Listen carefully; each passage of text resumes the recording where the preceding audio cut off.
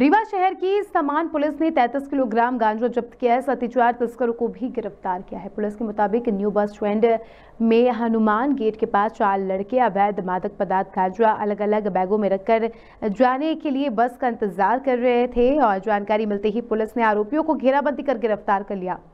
पूरे मामले को लेकर पुलिस ने आरोपियों के खिलाफ एनडीपीएस एक्ट के तहत कार्रवाई की। बताया जा रहा है कि आरोपी छत्तीसगढ़ की राजधानी रायपुर से गांजा खरीदकर बिक्री के लिए ले जा रहे थे।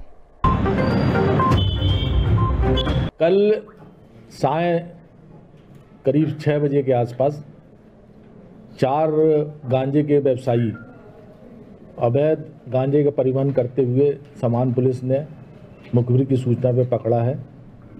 ये चार व्यक्ति सुनील मिश्रा, संजय तिवारी, मृगेंद्र पांडे और रावेंद्र मिश्रा हैं। इसमें से दो व्यक्ति जो हैं, पूर्व में भी इन अपराधों में पकड़े गए हैं उनके खिलाफ कार्रवाई की गई है।